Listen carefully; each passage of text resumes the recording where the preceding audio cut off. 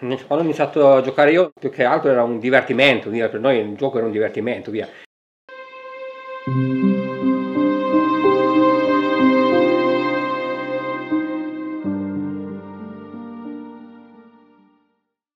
Allora, quando ho iniziato a giocare io non è che come adesso che ci sono gli allenamenti eh, mirati, era, più che altro era un divertimento, per noi il gioco era un divertimento, via. eravamo talmente abituati a vedere i nostri genitori che giocavano a San, allora era una cosa che entrata nel sangue, ci piaceva proprio e ci piace tuttora adesso, via. solo che non ci volevi giocare via, per diversi motivi. Comunque l'allenamento, non trovavamo un attimo di tempo, ci trovavamo tutti o qua sotto nelle, nei prati a, a giocare e allora facevamo questi allenamenti, solo che giocavamo soprattutto per allenarci per il campo, via. non ci allenavamo per, a pallettare e a, e a tirare, via. ci allenavamo quando magari la domenica, prima di iniziare il campionato, allora iniziavamo poi magari a tirare e a pallettare, però un allenamento completamente diverso rispetto a quello che c'è adesso. Via.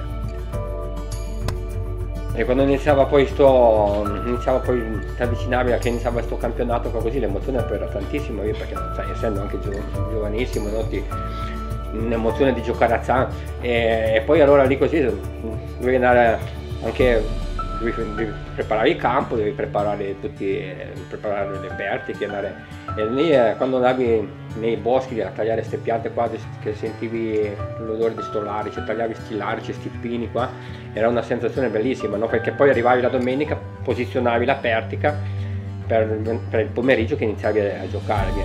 e ti rimanevano tutte stanche le mani sporche di sta resina che non andava via però era una sensazione bellissima era, era bellissimo poi pensare di giocare il pomeriggio con i tuoi compagni e contro le squadre che diciamo sono avversari però erano tra amici via sempre no? comunque è bellissimo via praticamente abbiamo noi già un po' di tempo quando andavamo a scuola tornavamo indietro col pulmino abbiamo adocchiato un albero giù a Mareso che sarebbe stato adatto per fare bastoni e sembrava una bella pianta, no? Allora, eh, però un po' di paura perché il proprietario non era, non era proprio d'accordo, eh, non è che non era d'accordo, magari se lo chiedevamo sicuramente ci dava anche l'autorizzazione, però quando sei, un, sei, sei in voce non, hai anche paura di chiedere queste cose allora abbiamo avuto la brillante idea, siamo arrivati su col, col pulmino, abbiamo mangiato un boccone, poi siamo rimasti d'accordo, ho detto boh ci troviamo, scendiamo giù, siamo scesi giù con, con la, una sega e un falcetto, giù, passato giù tutto in mezzo ai boschi, giù per il ruscello perché non ci vedesse, non farci vedere dalla gente, no? Allora poi abbiamo tagliato sta pianta, boh, l'abbiamo portata su, è anche tribulato portarla su perché del Marese arriva fino a quella resa, c'è un pezzettino e poi appena tagliata verde, era pesante, abbiamo portata su.